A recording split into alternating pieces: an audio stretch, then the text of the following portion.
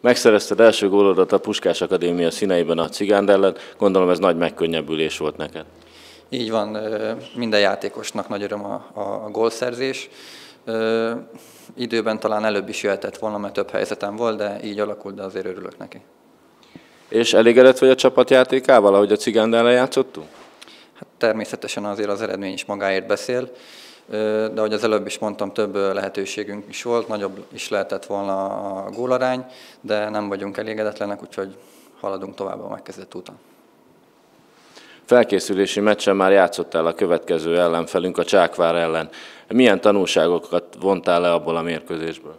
Hát ugye ott volt egy edzőváltás, úgy tudom, hogy innen, innen ment át a, a mester. Teljesen más csapat, mint amikor én annak idején játszottam ellenük MB2-be, más felfogásba játszanak, és hát ez majd vasárnap kiderül, hogy, hogy mit, mit képviselnek a pályán. Pikáns meccs lesz a Csákvár elleni, hiszen a volt edzőtök és volt csapattársatok ellen kell majd játszanotok. Így van, hát az biztos, Pilubá azért szerintem ismer minket kívülről, belülről, tényleg a, úgymond a mentalitásunkat, a fejünket, de hát ugye a, a, fut, a futballtudásunkat is, úgyhogy biztos vagyok benne, hogy felkészülnek ellenünk.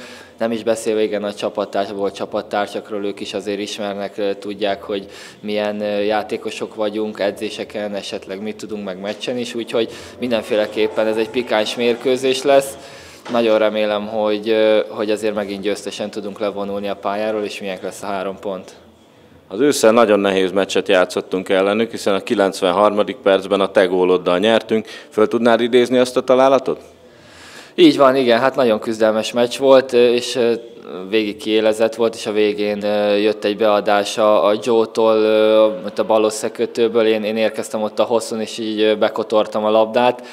Szokták azt mondani, hogy igen, akkor kell gólzra, amikor már nem tud válaszolni rá az ellenfél, de azért jobb lenne, hogyha, hogyha azért előbb tudnánk gólt rugni a mostani mérkőzésen, de, de azért hasonló ilyen küzdelmes meccset várok.